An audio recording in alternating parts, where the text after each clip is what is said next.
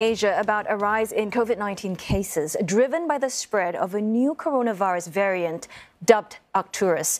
And the WHO has said it is keeping an eye on the issue. Now, over in Europe, government officials are also on guard against future pandemics. The EU's Health Emergency Preparedness Authority, or HERA, has been in operation since last year, and its goal is to ensure the timely development, production, and distribution of medicines, vaccines, along with medical equipment such as masks and gloves. And joining us now live in the studio to talk about this is HERA's Director General Pierre Delsaux. Well, welcome to um, our studio, uh, Mr. Delsaux. Now, there were many lessons that were learned during the pandemic, and um, clearly, you know, there were some missteps, and you know, there were some things that were done well, some not so well. What was your biggest takeaway from the pandemic? I, mean, I believe you said it in your introduction. The first takeaway is the fact that we live in a global world. So something which is happening in one part of the world can have an influence everywhere in the world, and be something we cannot ignore. Maybe the second message and the second lesson is that nobody was really ready for such a crisis. Mm. And we need to be uh, aware of the situation and we need to take that also as a lesson for the future. And maybe the third message that the solution was a collective one. And it's by working together you know, at EU level, but also globally with the rest of the world that we've been able to, to go out of the crisis. And I believe this is, this is also a very important lesson for the future. We need to continue this work collectively, working together everywhere in the world to try to address a future crisis. Because, I mean, as you know, one of the key criticisms was, was that EU response was fragmented. You know, the response was slow. Um, in terms of trying to unify the strategy across EU countries, just how challenging was it and what was happening, you know, behind closed doors? You know, Europe is not very good maybe in communication terms, let's be very clear. But if you look at the facts, in terms of vaccines available in Europe, vaccines were available in Europe at the same time that anywhere else in the world. Actually, same time as Singapore, same time as other part of the world. So we were not behind them. First element. Second element, we were able to work together, 27 countries working together, deciding together to purchase vaccines, and also which something I would like really to insist on, there was never a selfish attitude from those member states. Everybody was willing also to share those vaccines with the rest of the world. And that was from the start. It was clear that we would be buying vaccines not only for Europe, but also for the rest of the world. And we have done it. But having said that, uh, Mr. Delsaux, you know, WHO, they have said that there is vaccine um, inequality across, you know, um, the developing worlds, that, that, you know, that there was this, this mindset of hoarding the vaccines as well. Now, you know, I don't look at declaration, I look at facts. And let me give you a few facts.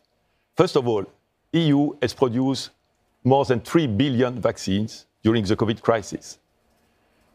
Two thirds of those vaccines have been exported outside of the EU. Only in the Asia Pacific regions, more than 1 billion vaccines have been exported to the region. We never decided to stop those exportations.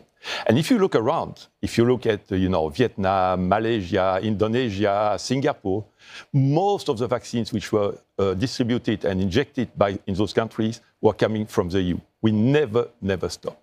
And now, if I look at the poor countries in the world, again, we need to have the, you know, the facts straight. And let me give you two elements which I believe were extremely important. The first element was the fact that collectively, rich countries decided to create an organization which is called COVAX, which was there to help uh, you know, poor countries to get access to the vaccines. The largest funding came from the EU. So we give more than 4 billion uh, euro to this uh, uh, organization. That's the first element. But the second element, and it's not known, but collectively, the EU countries and the, and the European Commission distributed more than 500 million vaccines to the rest of the world. When I say to the rest of the world, I mean to the poor country in the rest of the world. Mm. We have been the largest donors of vaccines from all the uh, richest countries. And that's something which is not necessarily so well known, but that's a fact, and you can look at the figures. And again, at one point, I can tell you now, we are still willing to give those vaccines. You were referring to the fact that we might have new variants. The EU and the EU countries are still willing to give new vaccines, and actually we have the possibility to give new adapted vaccines, which are, you know, the new version of the vaccines. We have them in quantities, and I can tell you officially that we are willing to give those vaccines to whoever country would like to get it. Of course, if we are talking about poor and lower income uh, countries. Mm. Now, we've got a war in our midst. Well, we're not sure when is it going to end.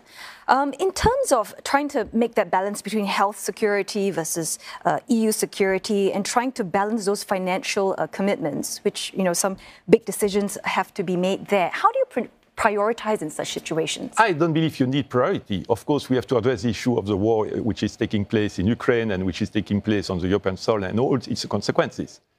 But let's be clear the cost of a health crisis is huge. And we know one thing for sure there will be a new health crisis in the future. We don't know when exactly, but there will be one in the future.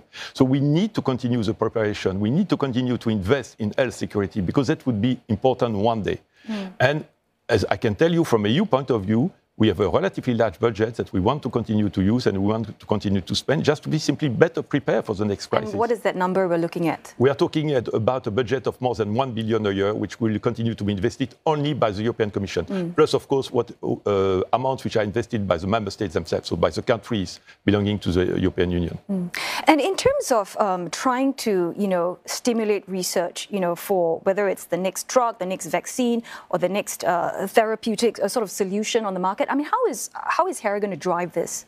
As I told you, we have a budget, and part of this budget will be used actually to just to try to stimulate this kind of new vaccines, therapeutics, whatever will be needed. Mm.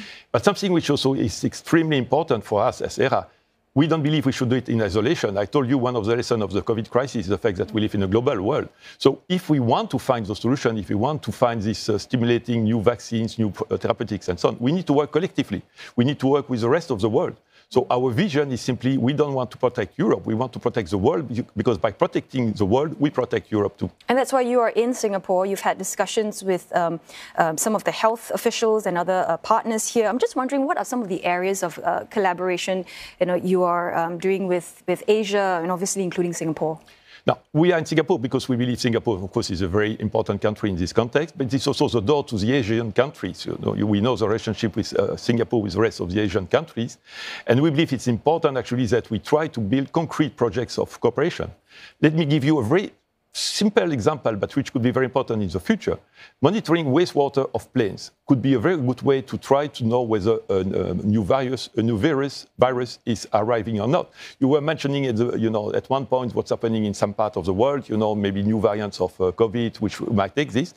You know, monitoring what's happening uh, through wastewater of the planes could be a very good tool to do it. So, as HERA, we are willing to try to, to work with other parts of the world to try to develop this kind of technology, for instance. Well, very much. Uh, thanks for your time, uh, Mr. Delsaux, We've certainly uh, gotten a big, a good idea what um, HERA will be doing um, in the future. Thank you very much for your time. And I was just talking much. to Pierre Delsaux, Director General for HERA.